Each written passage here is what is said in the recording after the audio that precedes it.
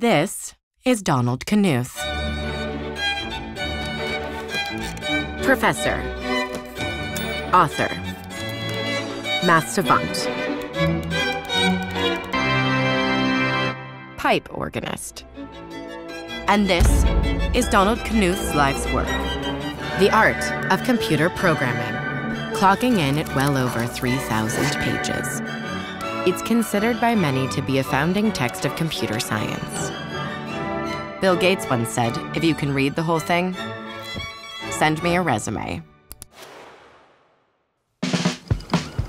But in 1964, when Knuth was still in the middle of writing Volume 1, there was no guarantee his opus would ever see the light of day. That's because the same perfectionist streak that drove Knuth to analyze his college basketball team and optimize his home's kitchen around the trash can was getting in the way of actually publishing anything. Checking and rechecking every page, Knuth blew through deadline after deadline.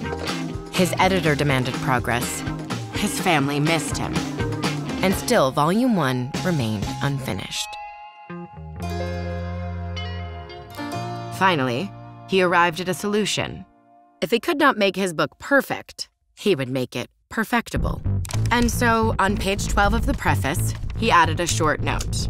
I will greatly appreciate receiving information about any errors noticed by the readers, so that they may be corrected as soon as possible in future editions. It worked. As soon as the book hit shelves, error reports started coming in. Mathematicians corrected flawed equations, nitpickers pointed out punctuation errors. With each find, Knuth mails out a reward of 256 cents. That's 100 in hexadecimal, in case you didn't know. So far, Knuth's got more than $22,000 worth of checks.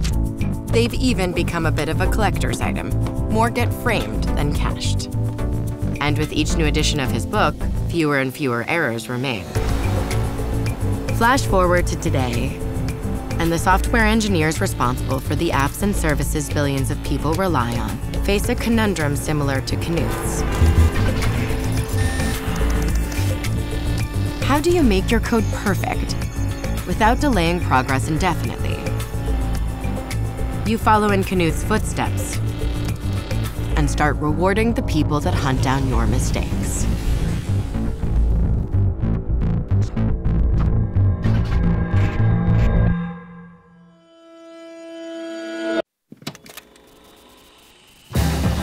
When it's your job to keep billions of people safe online, you have to live and breathe and see the internet just like the attackers do. Because the only way to stop a hacker is to think like one.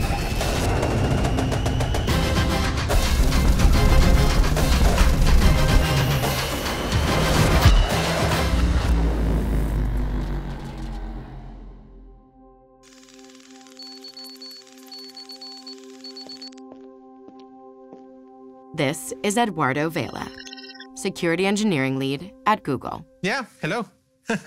Eduardo doesn't have a Knuth check, but he has found thousands of errors in all kinds of software, including Google's. Does Google have bugs? Sure, Google has bugs. Google has vulnerabilities.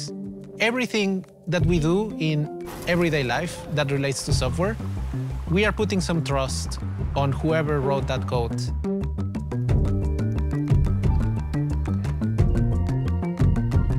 We as Googlers, we recognize the responsibility of the faith that people place in Google.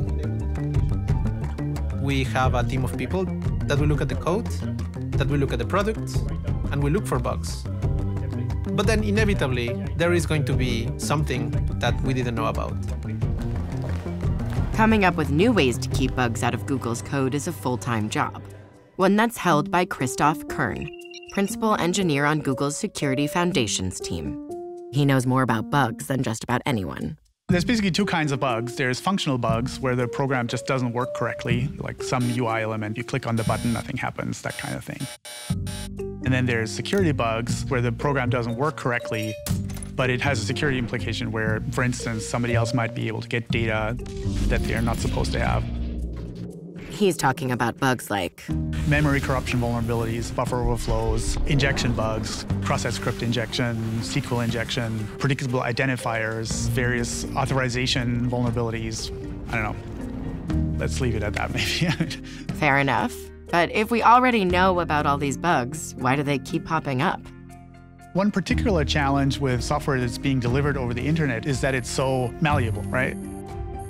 Many web-facing applications basically get delivered a new version every couple weeks or even every week. So the software is constantly changing. Every time there is a change, there is a possibility of introducing a subtle flaw that could potentially have security implications. So change causes bugs, and code is always changing. Faced with this problem, there are two approaches companies can take. Hope no one finds their bugs and threaten to prosecute those who do. Or think like Knuth and ask the community for help.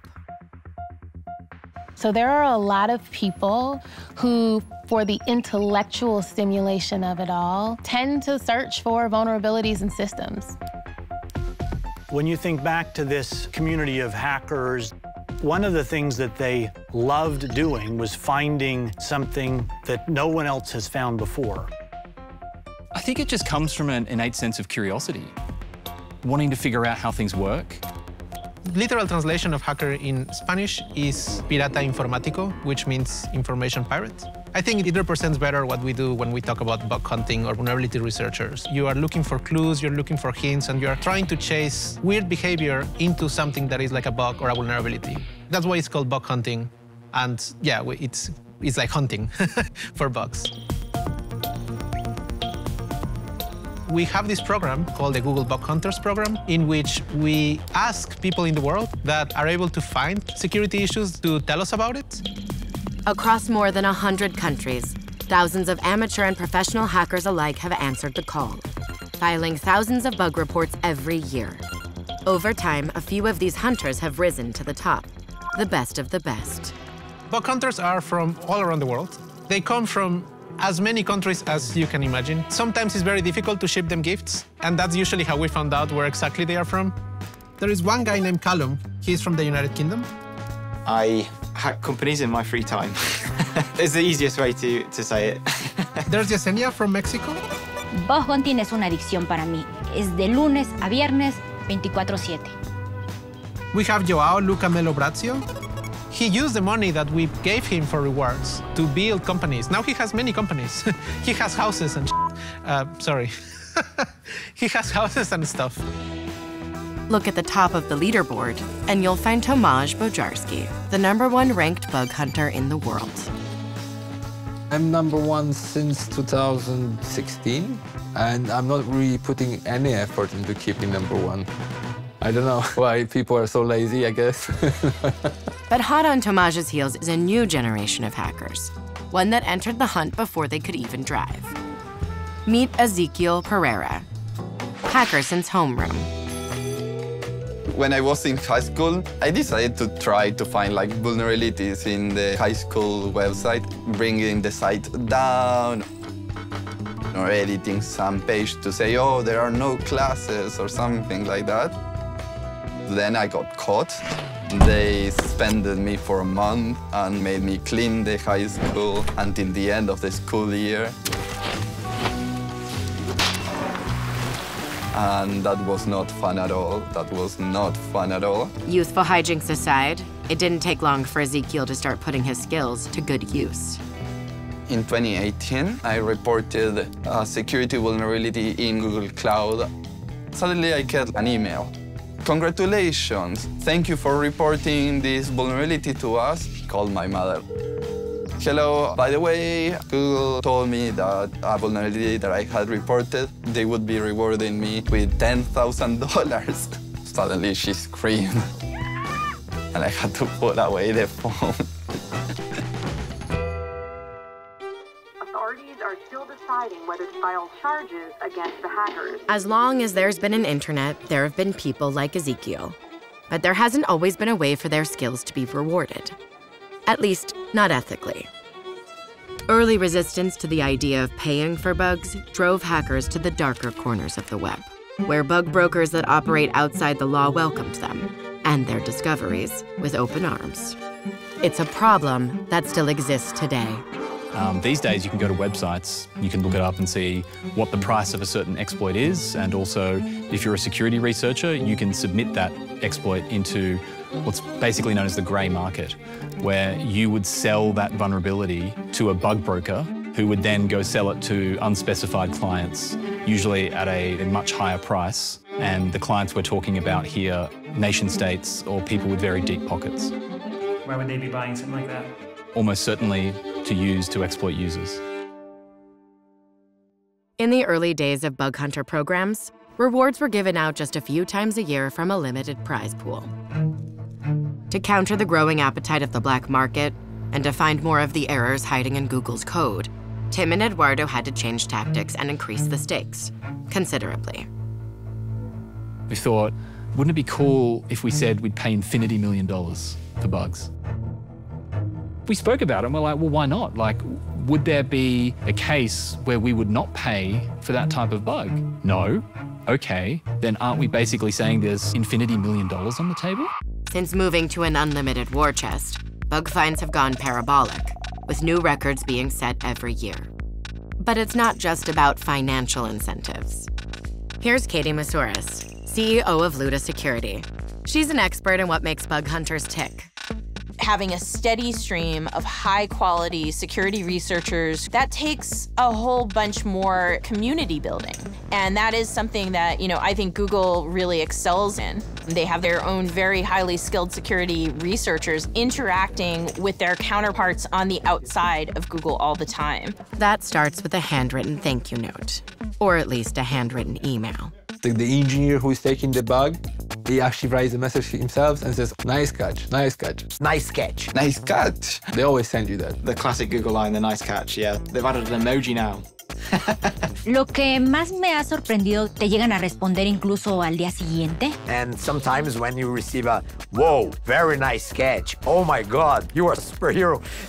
It's, it's nice. And I love that because it's, it's individual thing to you, right, for the bug. And that sort of direct engineer to engineer interaction is one of the most powerful ways to attract outsiders, way more than money.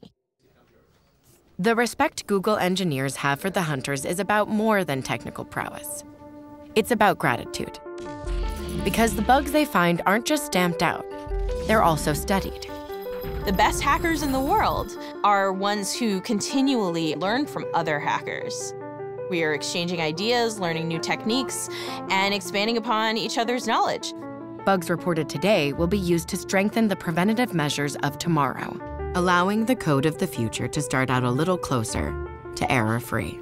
Sometimes you see a report from a bug hunter where somebody found a really subtle problem that actually kind of betrays a fairly detailed understanding of how the application works. You kind of wonder, how did they figure this out, right? And you go like, oh, this is, this is pretty cool. And then, you know, quite a few of those bug hunters end up getting hired because uh, they, they sort of emerge as somebody who really has a particular knack for this kind of work. Yep, sometimes the error finders end up as system designers. It's a journey Knuth might appreciate. Today, engraved in the entryway of his home are the words of Danish poet Piet Hein. The road to wisdom? Well, it's plain and simple to express. Err and err and err again. But less and less and less. A fine message for the next generation of software engineers and the bug hunters that will bring their code a little closer to perfection. Eduardo, we are all good. Thank you so Awesome. much. This Yeah. is wonderful. All right. Goodbye. Have a nice day.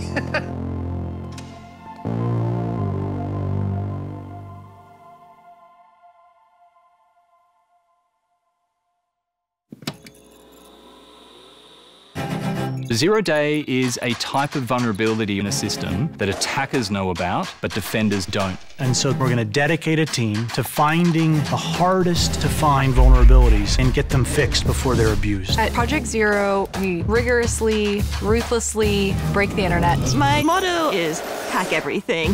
The weakest point for Google might be a non-Google product. The implant allowed them to pull chat history, photos, GPS locations. Within 30 minutes, the seven of you could make the internet unusable for the entire nation. The company doesn't fix the bug in 90 days. We put it all online.